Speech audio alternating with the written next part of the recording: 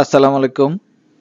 আমাদের আজকের ভিডিওর মাধ্যমে আমরা জানাব আগামী নয় চার দুই তারিখে যে নিয়োগ বিজ্ঞপ্তির নিয়োগ পরীক্ষা অনুষ্ঠিত হবে, সেই বিস্তারিত তথ্য অর্থাৎ নোটিশও আপনাদেরকে দেখাবো অফিসিয়ালি ভিডিওটি অবশ্যই প্রথম থেকে শেষ পর্যন্ত দেখলে তাহলে বিস্তারিত বুঝতে পারবেন আপনাদের, এবং কোন ওয়েবসাইট থেকে আপনাদেরকে অ্যাডমিট কার্ড ডাউনলোড করতে হবে সেটাও দেখাবো।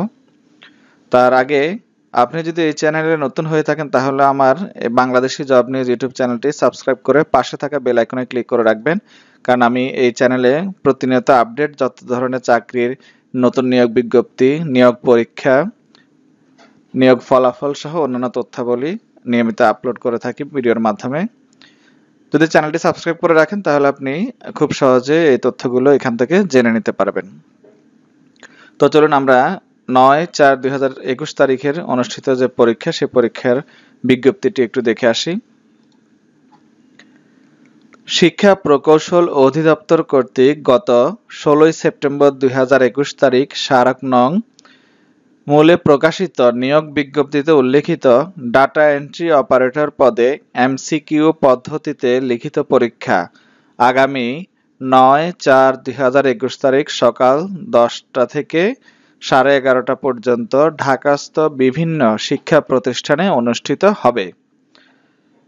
EEDMOE dot teletalk dot com dot BD website থেকে প্রবেশপত্র ডাউনলোড করা যাবে। এই নোটিশটি প্রকাশ করা হয়েছে চব্বিশ তিন দুই তারিখ। শিক্ষা প্রকৌশল অধিদপ্তরের অফিসিয়াল ওয়েবসাইট www.eedmoi.gov.bd বিডি ওয়েবসাইটে প্রকাশিত হয়েছে এই নোটিশটি। তো চলুন আমরা ওয়েবসাইট থেকে একটু দেখে আসি। আমরা যখন ওয়েবসাইটে আসব EEDMOE dot teletalk dot com dot BD ওয়েবসাইটে আসার পরে পেজটা এরকম দেখাবে।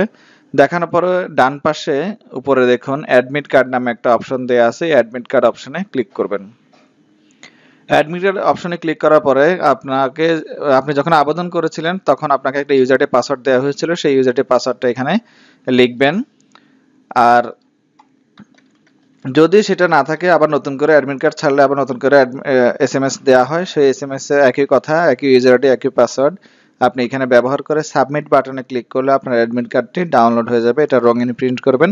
অ্যাডমিট কার্ডের মধ্যে আপনার পরীক্ষার কেন্দ্র, সময় রোল নং সহ বিস্তারিত লেখা থাকবে। যদি কোনো কারণে আপনার এস না আসে বা এস এম এসটি ডিলিট হয়ে যায়, সেক্ষেত্রে আপনি এখানে পেমেন্ট স্ট্যাটাস নামে একটা অপশন আছে। পেমেন্ট স্ট্যাটাসে ক্লিক করে এখানে রিকভার ইউজার আইডি এবং রিকভার পাসওয়ার্ড এই দুটো আবার রিকভার করে আপনি আবার অ্যাডমিট কার্ডে গিয়ে আবার ইউজারটি পাসওয়ার্ড দিয়ে আপনি এটা নিতে পারবেন। তো আশা করি বিষয়টা বুঝতে পেরেছেন।